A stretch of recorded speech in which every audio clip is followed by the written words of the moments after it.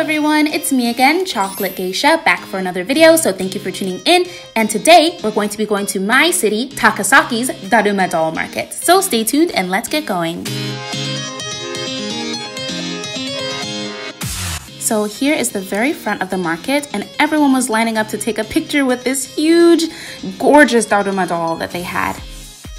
So what is a Daruma doll?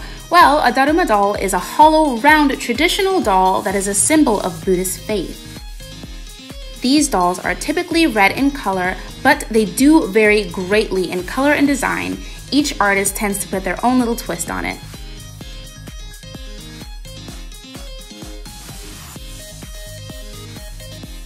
I also found this super cute pink one. There's also a station where you can get your name engraved on it if you like.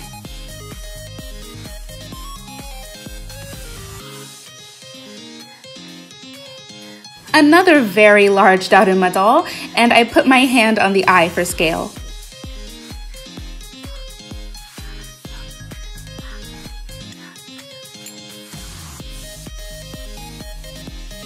There were way more people than I initially expected, so I was trying to bob and weave through the crowd.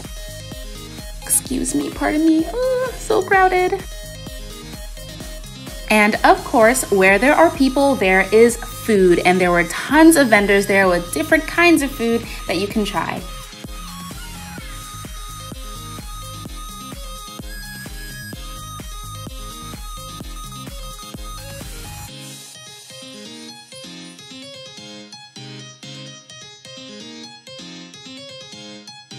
I was looking at the sake and the sake was looking at me.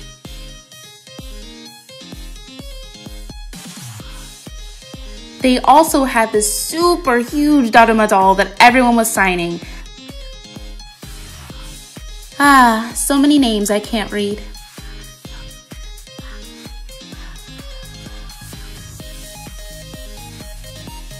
And of course, I had to do it one time for the culture, you know.